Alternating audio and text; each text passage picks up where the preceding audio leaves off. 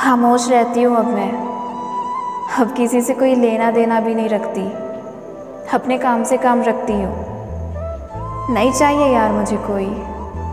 क्योंकि मुझे तो कोई दिखावे की हमदर्दियाँ देना भी नहीं जानता। बहुत टूट गई हो यार। सबने छोड़ दिया मुझे। और मैंने सबको।